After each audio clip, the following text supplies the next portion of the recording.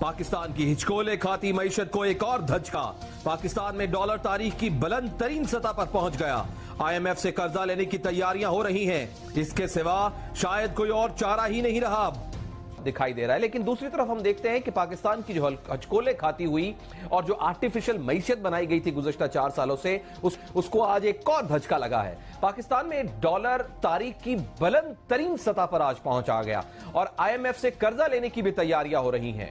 گو کہ اس کے سوا فی الحال جو تجزیہ کار کہہ رہے ہیں، جو ماہر معاشیات کہہ رہے ہیں کہ کوئی چارہ ہے ہی نہیں اور اب اس کے علاوہ چارہ بچا ہی نہیں رہا اب اور پاکستان پر بڑھتا ہوا جو سرکولر ڈیٹ اور قرضوں کا جو بوجھ ہے کیسے ختم ہونے کا تو سوال ہی پیدا نہیں ہوتا، بلکہ اب تو سوال یہ ہے کہ یہ قرضے کم کیسے ہوں گے؟ ہم سوال اٹھانے جا رہے ہیں اور سوال یہ اٹھانے جا رہے ہیں کہ یہ ڈالر کی جو یکدم قیمت بڑھی ہے، اس کے بڑھنے کے محرکات دراصل کیا ہے اور اس سے پاکستان کی جو ڈگمگاتی ہوئی معیشت ہے اس کو کیا نقصان ہوگا؟ اب جب نگران سیٹ اپ کی بات کرتے ہیں اور اس کے تناظر میں بات کرتے ہیں، تو کیا پاکستان کے پاس سوائے آئی ایم ایف سے قرضہ لینے کے کوئی اور آپشن ہے؟ یا آپشن ہے ہی نہیں ہے۔ ہمارے کیا ہمارے پاس اس کے علاوہ کوئی اور راستے ہیں؟ اور کیا نگران حکومت کے اختیارات میں یہ شامل ہے کہ وہ قرضے لے سکے؟ اور اگر ہے، تو کیا آئی ایم ایف نگران حکومت کو قرضے دے گا بھی کہ نہیں؟ اتنا ٹرسٹ ہے یا نہیں؟ اور اگر ہاں تو پھر کن شرائط پر؟ اور اس کے بعد جب قرضے لے لیے جائیں گے، تو پھر جو اکنامیکل کانسیکوینسز وہ کیا ہوں گے؟ اس کے لیے بات کرتے ہیں ماہر معاشیات ڈاکٹر شاہد حسن صدیقی صاحب، کراچی میں جوائن کر رہے ہیں۔ ڈاکٹر صاحب، بہت بہت شکریہ سر آپ کے وقت کا۔ ڈاکٹر صاحب، یہ ڈالر کی یکدم قیمت بڑی ہے۔ اس قیمت بڑھنے کے محرکات کیا ہے اور اس سے پاکستان کی جو ڈگمگاتی معیشت ہے، اس کو مزید کیا نقصان ہوگا ڈاکٹر صاحب؟ دیکھیے، پہلے میں آپ سے یہ عرض کر دوں، بالکل واضح طور پر کہ ہماری جو نگراں وزیر خزانہ ڈاکٹر شمشاد اختر ہیں وہ ایک بہت تجربے کار شخصیت ہیں مالیات کو بہت زیادہ سمجھتی ہیں۔ اس میں کوئی شبہ نہیں ہے۔ اور یہ بھی ایک حقیقت ہے کہ وہ مغرب کی سوچ کی نمائندگی کرتی ہیں۔ اسی لیے جس دن جب جاب نہیں ہوتا تو وہ چوبیس گھنٹے سے زیادہ پاکستان رکتی نہیں ہے۔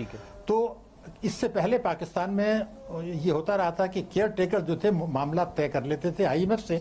اب کہ یہ ہنگامے بازی ہو رہی تھی۔ تو انہوں نے جو مجھے لگ رہا ہے وہ یہ فیصلہ کیا ہے کہ آئی ایم ایف سے باقاعدہ مذاکرات کرنے کے بجائے جو آئی ایم ایف کی ممکنہ شرائط ہوتی ہیں ہمیشہ ان پر عمل درآمد شروع کر دیا جائے اور آپ کو جیسے پتا ہے کہ آئی ایم ایف کے ساتھ مشاورت ہوتی ہے انڈر آرٹیکل فور اس میں وہ غیر رسمی طور پر قرضے کی بات کریں گی۔ تو وہ جو شرائط ہیں وہ میں آپ کو بتا دوں۔ نمبر ایک روپے کی قدر میں کمی کرنا ہے۔ نمبر دو پیٹرول بجلی اور گیس کے نرخ بڑھانے ہیں۔ نمبر تین شرح سود میں کمی کرنی ہے۔ یہ وہ شرائط ہیں جو ہمیشہ ہوتی ہیں۔ انیس سو ترانوے سے آپ دیکھیں وہ رہی تھی یہ اسی شرائط کا حصہ ہیں جس کے تحت تیاری ہو رہی ہے کہ اگلی منتخب حکومت کے آنے سے پہلے وہ شرائط پوری کر دی جائیں اور نئی حکومت جو ہے فوراً درخواست لے کے پہنچ جائے کہ جناب ہمیں بیل آؤٹ پیکج دیں ہماری حالت خراب ہے۔ تو یہ ایک افسوسناک۔ دوسری بات آپ نے جو کی کہ ہماری آپ کو پتا ہے کہ درامدات جو ہیں وہ کتنی زبردست ہیں۔ تو ہر درامدات کے ساتھ اگر ساٹھ ارب ڈالر کی درامدات ہیں اور پانچ روپے کم ہوتے ہیں تو یہ تو آپ کو پتہ چلا کہ ملکی کرنسی میں اس کی قیمت بڑھ گئی۔ اس کے ساتھ ٹیکسز بڑھ گئے اس کے بعد بجلی کے نرخ بڑھ گئے۔ تو پھر اس کے بعد جو ہے آپ کی برامدات گر گئیں۔ یعنی عوام کی تکالیف بڑھیں گی ٹرانسپورٹ کے نرخ بڑھیں گے بجلی کے نرخ بڑھیں گے گیس کے نرخ بڑھیں گے پیٹرول کے نرخ بڑھیں گے مہنگائی بڑھے گی کاسٹ آف پروڈکشن بڑھے گی۔ اور برآمدات جتنی بڑھنی چاہیے تھی وہ نہیں بڑھ سکیں گی۔ چنانچہ قرضوں پر انحصار بڑھے گا۔ یعنی آئی ایم ایف کے پاس جانے کی ضرورت دو چند ہو جائے گی۔ اور یہ ایک بالکل واضح چیز تکلیف دہ چیز مجھے نظر آ رہی ہے۔ کہ جو کچھ ہوا ہے یہ بڑا افسوسناک ہے تکلیف دہ ہے۔ لیکن ڈاکٹر صاحب نگران سیٹ اپ کے تناظر میں اگر بات کریں تو کیا پان کے پاس سوائے آئی ایم ایف سے قرضہ لینے کے کوئی آپشن نہیں ہے؟ کیا ہمارے پاس اس کے علاوہ کوئی راستے نہیں ہیں؟ دیکھیے آپ نے بڑا اہم نقطہ اٹھا دیا ہے۔ بنیادی اگر میں آپ کو ریکارڈ پر بتاؤں کہ انیس سو اٹھاسی میں اب سے تیس سال پہلے چلے جائیے آپ تو تیس سال پہلے جو نگراں وزیر خزانہ تھے انہوں نے اپنی حکومت ختم ہونے سے چند روز پہلے پاکستان کو تین سال کے ایگریمنٹ میں پھنسوا دیا اور دستخط کر دیے یہ ریکارڈ پر ہے۔ اس وقت پاکستان کے اوپر جو قرضے تھے وہ پانچ سو تیئیس ارب روپے تھے اور آج ستائیس ہزار ارب روپے ہیں اور ان تیس برسوں میں ہماری گروتھ بنگلہ دیش سے کم رہی۔ تو یہ تو انہوں نے پھنسایا۔ اس کے بعد نائنٹین نائنٹی تھری میں جب موین قریشی آئے تو انہوں نے ایک ایسا کام کیا جو دنیا میں کہیں نہیں ہوا۔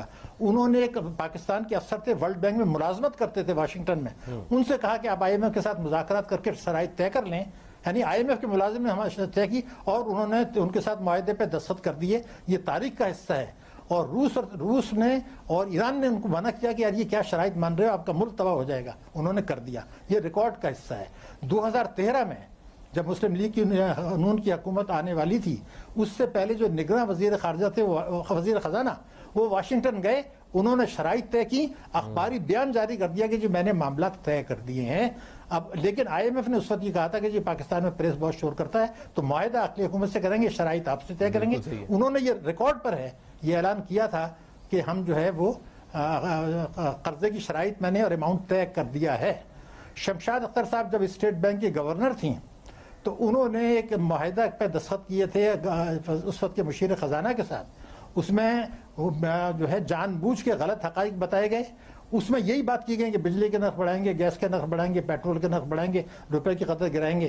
ان تباہ کن شرائط کے نتیجے میں میں ریکارڈ پر بتا رہا ہوں کہ اگلے سال جو گروتھ ریٹ پاکستان کی تھی وہ زیرو پوائنٹ فور پرسنٹ تھی جو اکہتر سال میں کبھی نہیں ہوئی۔ تو یہ نیو گریٹ گیم کے تحت جو امریکہ کا کھیل ہے پاکستان نے دیکھ کہا رہا تھا کہ جی ڈو مور اب نہیں کریں گے۔ ڈو مور ہم نہیں کریں گے۔ تو انہوں نے کہا اس کی حکومت کی ملک کی معیشت کو اتنا تباہ کر دیا جائے کہ وہ مجبور ہو جائیں۔ اسی لیے انہوں نے پاکستان سے کسی آدمی کو لینے کے بجائے باہر سے لے کر آئے کہ جی وہ شرائط ان کے ساتھ ڈکٹیٹ کرنے میں آسانی ہوگی۔ تو یہ پاکستان کے لیے خسارے کا سودا ہے تباہی کا سودا ہے۔ نیو گریٹ گیم کے تحت یہ امریکہ کا کھیل ہے۔ اور ہم کوئی کوشش نہیں کر رہے کہ آئی ایم ایف کے پاس جانے سے بچیں بلکہ مجھے ایسا لگتا ہے کہ کوششیں یہ ہو رہی ہیں کہ معیشت کو اتنا خراب کر دیا جائے اور اور ان کی شرائط کو پہلے ہی پورا کر دیا جائے تو اس کے بعد قرضہ لینا جو ہے وہ آسان ہوگا۔ ڈاکٹر صاحب پھر ڈاکٹر صاحب پھر ہمارے پاس سے کیا ہیں؟ پھر ہم کیا کریں؟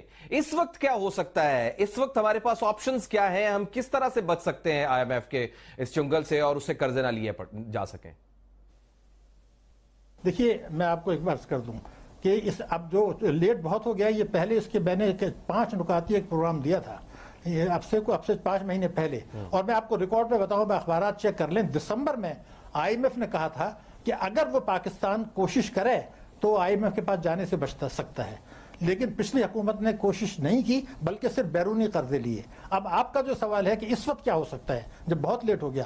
اب یہ ہو سکتا ہے کہ چین کو پتا ہے کہ امریکہ کا مقصد جو ہے وہ سی پیک کو نقصان پہنچانا اور اور پاکستان کی معیشت کو غیر مستحکم کرنا پاکستان کی حکومت اور پاکستان کے عوام کے درمیان اعتماد کا بحران پیدا کرنا ہے۔ چین کے سی پیک کو بھی نقصان وہ پہنچانا چاہتا ہے اور بھارت بھی وہی چاہتا ہے۔ تو یہ یہ اور وہ یہ ان کے نیو گریڈ گیم کا حصہ ہے کہ چین پہ تو ہاتھ نہیں ڈال سکتا مگر چین کو وہ جنگی تنازع میں پاکستان کے ساتھ معاملات میں ملوث کر کے مشکلات پیدا کرنا چاہتا ہے تاکہ کنیکٹیوٹی کے معاملے میں مشکلات پڑیں۔ اگر ہم چین کو اس بات کا ادراک ہے تو اگر یہ پاکستان پلاننگ کرتا تو ہمارے صدر مملکت جب تشریف لے گئے تھے تو ابھی ابھی وہی تو ان کو یہ بات کرنی چاہیے تھی کہ بھئی یہ خطرہ ہے۔ اس کا حل یہ ہے کہ چین ہمارے اسٹیٹ بینک میں کچھ عرصے کے لیے کچھ ریزرس ڈال دے اور اس دوران میں ہم کوشش کریں کہ اپنی برآمدات بڑھائیں اپنے ریزرس بڑھائیں۔ یعنی روپے کی قدر کم کرنے کے بجائے بجلی کے نرخ کم کریں تاکہ ہماری پروڈکشن بڑھے۔ ہماری بیرونی جو ہے بیرونی وہ جو ہمارے برآمدات ہیں وہ بڑھیں۔ اس دوران میں بڑے آرام سے میں نے دیکھا ایک ایک آئٹم دس ارب ڈالر کی ایسی امپورٹس ہیں۔ جو ہم اگر نہیں کریں تو کوئی نقصان نہیں ہوگا لگژری آئٹمس ہیں۔ وہ اقدامات لینے کی ضرورت تھی اور ابھی یہ جو نگرہ حکومت ہے، ان کو ایک اور قدم اٹھانا چاہیے۔ ایک تو یہ کرنا چاہیے کہ ٹیکس ایمنسٹی اسکیم میں کسی حالت میں ایکسٹینشن سوری ایکسٹینشن نہ کریں، وہ اگلی حکومت پہ چھوڑ دیں۔ اور ایک لا ہے پاکستان میں بینکنگ کمپنی آرڈیننس جس کے تحت اسٹیٹ بینک کی ذمہ داری ہے کہ کھاتے داروں کو منافع میں شریک کریں۔ ہماری بچتوں کی شرح بیس فیصد سے چھ فیصد پر آ گئی ہے۔ جو اس وقت دنیا میں تیس فیصد تک ہے۔ اگر آپ ان کو کھاتے داروں کو منافع بڑھائیں اور چین سے ریزرو لینے کے بعد محلت لیں برآمدات بڑھائیں امپورٹس کم کریں چین آپشن یعنی چین آپشن ہمارے پاس ہے۔ ڈاکٹر شاہد بہت بہت شکریہ بہت بہت شکریہ۔ ڈاکٹر صاحب بہت بہت شکریہ۔ بڑے زبردست پوائنٹس آپ نے دے دیے۔ تو بہرحال جو ماہرین ہیں وہ اس نقطوں کو بھی دیکھیں گے ان نکات کو بھی دیکھیں گے اور ان کو سمجھیں گے۔ لیکن بہرحال یہ تو طے ہے کہ ہمیں اس وقت قرضے لینے ہیں۔ کس صورت میں لینے ہیں؟ کن راستوں کو اپنانا ہے؟ وہ بہت زیادہ ضروری ہے۔ ایک بریک لیتے ہیں اور بریک کے بعد کراچی کی سیاست کا رخ کرتے ہیں۔ کراچی کے ووٹر گمگوں کا شکار ہے۔ کراچی دراصل کس کا ہے؟ کراچی والے کس کو ووٹ دیں؟ مہاجر ووٹ بینک شدید تذبذب کا شکار ہے۔ ایک بریک لیتے ہیں اور اس پر بات کرتے ہیں۔ بریک کے بعد آپ کو خوش آمدید کہتے ہیں۔ آپ کو یاد ہوگا کہ الیکشن کمیشن نے چھبیس مارچ کو اسی سال کو متحدہ قومی مومنٹ پاکستان کے آئینی سربراہ سے متعلق درخواستوں پر ایک فیصلہ سنایا تھا اور فیصلہ سناتے ہوئے یہ فیصلہ دیا تھا کہ